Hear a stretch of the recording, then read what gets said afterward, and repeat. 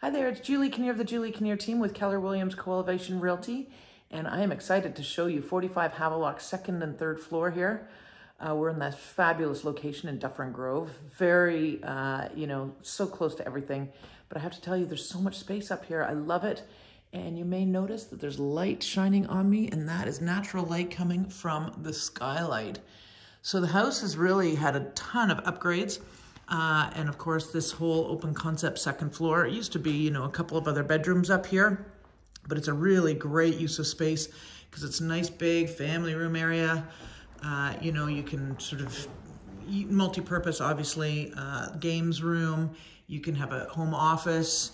You can have uh, all kinds of opportunities, options here. If you were, you know, looking for a house that uh, you wanted to have some income while, you know, in the first few years of ownership, uh, that's cool because this work, one works perfectly. You can have second and third floor uh, potentially, and then uh, main and lower level because they have this little kitchenette. But if you don't need that, uh, it's perfect for an art studio, kids playroom.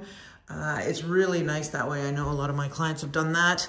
And you may notice that these sleek rads, so a lot of upgrades. You probably saw that from the uh, main floor video, but these rads are, are part of the environmentally energy conscious, um, you know, upgrades. And it's really nice to have these sleek sort of rads, very uh, user-friendly, and they go with that combo tankless boiler. So we're in the one of the two four-piece bathrooms and uh, nice and modern, uh, slate floor, glass doors on the on the tub. And uh, they have re you know, retained a ton of the charm and character, including newel posts. And this is the staircase down to the main and lower. And uh, you can see, you know, these old fashioned doors and I love these door handles. And uh, again, tons of elbow room. This house has just so much warmth and space and natural light. It's ridiculous. This is a nice bay window. This semi is like monstrous. It's almost 3,300 square feet, uh, including the lower level. And you'll see this closet. So this could be, of course, the primary bedroom. They use it obviously as an office and they have the bedrooms upstairs.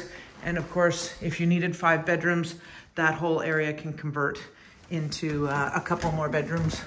All good. And then this third floor, as you probably saw from the outside, the ceiling is flat. That roof, of course, is new along with everything else.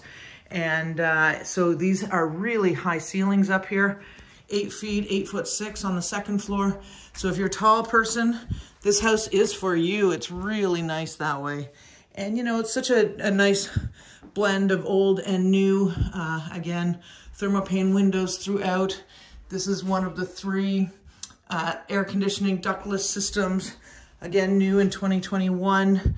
There's those thermopane windows everywhere. And uh, of course, this would be a beautiful primary bedroom as well because you get this walkout. Now they haven't put a deck here. Didn't need all that space because there's a walkout on the main, but you could. Can I open this? No. So you get to have a nice view of the treetops.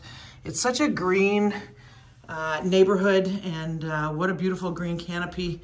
And of course there's that lots of sun coming in from the south side because there's a big wide driveway. So check out our other two videos.